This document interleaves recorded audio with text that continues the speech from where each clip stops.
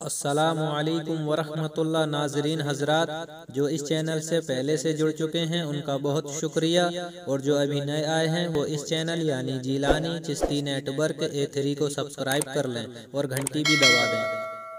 شیخ ابو عمر عثمان سیرفل اور ابو محمد عبدالحق العریمی یہ دونوں فرماتے ہیں، اور اس کو صاحب قلائد الجوائد نے ذکر کیا۔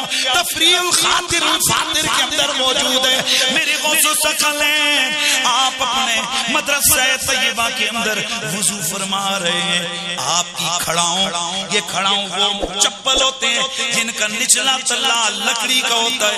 اوپر ان کے تسمے ہوتے گئے۔ آپ نے وہ پہنے ہوئے گئے وضو کرتے ہوئے آپ نے وضو فرمایا۔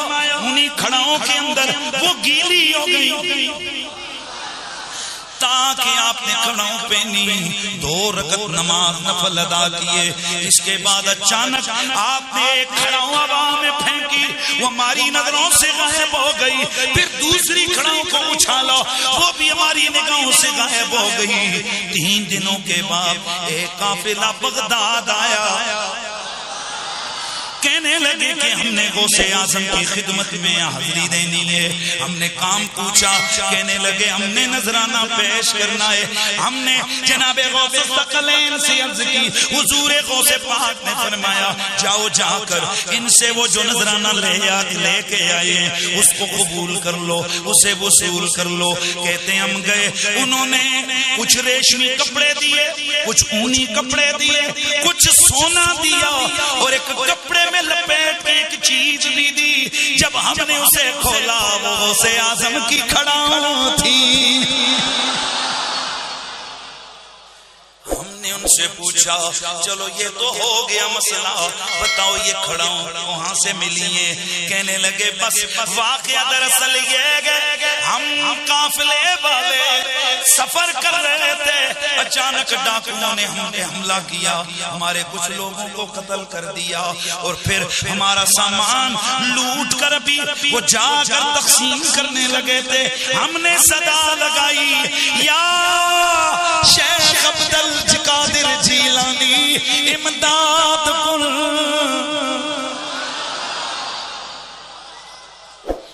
ہم نے غوث سکلین کو مدد کے لیے پکارا، بس پھر تھوڑی دیر گزری کہ اچانک ایک زوردار دو آوازیں آئیں۔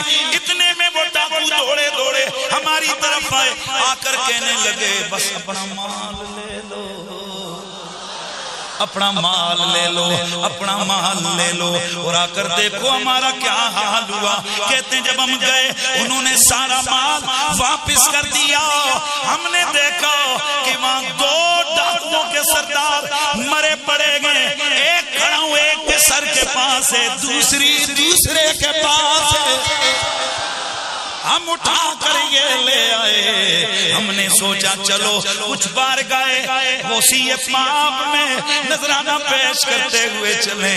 تو پھر ہم کیوں نہ کہیں، امداد کن امداد کن ازرن جو ہم آزاد کن، امداد کن امداد کن ازرن جو ہم آزاد کن۔ دردین و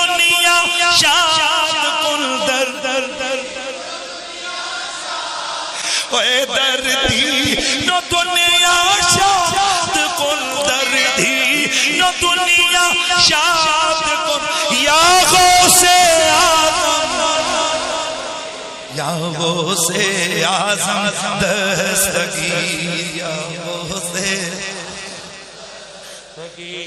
یا غوث آزم تفریح الخاطر الفاتر کے اندر، اسی طرح کے واقعہ علامہ عبد القادر اربلی نے ذکر کیا۔ آپ فرماتے ہیں کہ ایک ایک حضور غوث پاک کی مریدنی تھی۔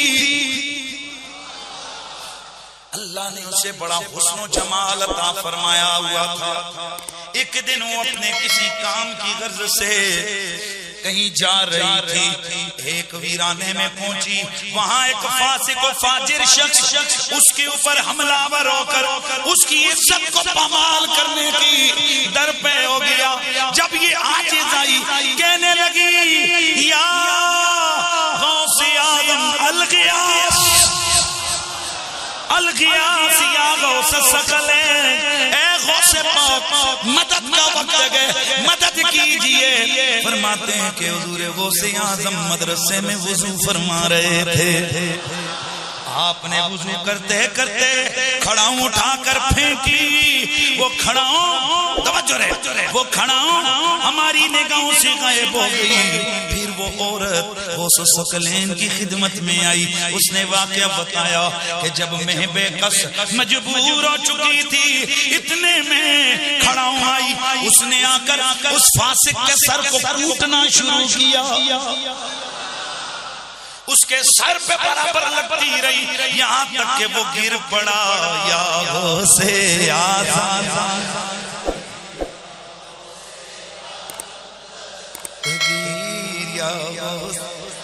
اس لیے میرا اعلی حضرت امام عاشقاں قبلہ دل و جان امام احمد رضا خان فاضل بریلوی علیہ رحمت الرحمن، آپ طلب کے کہتے ہیں کہ تو ہے وہ ہو سکے ہو سے ہے شیدہ تیرا۔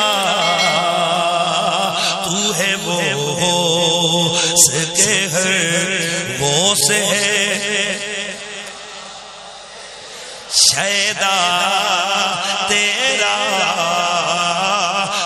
ہے وہ غیس کے ہر غیس ہے۔ پیاسا، تیرا تو ہے وہ غیس کے ہر غیس ہے۔ پیاسا،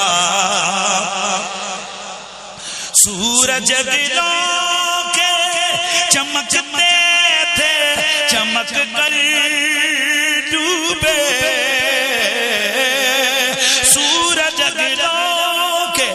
چمکتے تھے، چمک کر ڈوبے افق نور پہ۔ مہر ہمیشہ تیرا افق نور پہ۔ مہر ہمیشہ